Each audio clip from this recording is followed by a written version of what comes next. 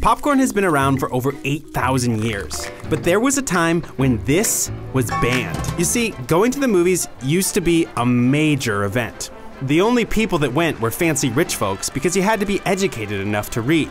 Fancy, like there was even a coat check, but there was definitely no concession stand. There was, however, popcorn street vendors who set up shop outside theaters. They made a killing selling to waiting theater goers, theater goers that started smuggling their pop treats inside. Not cool.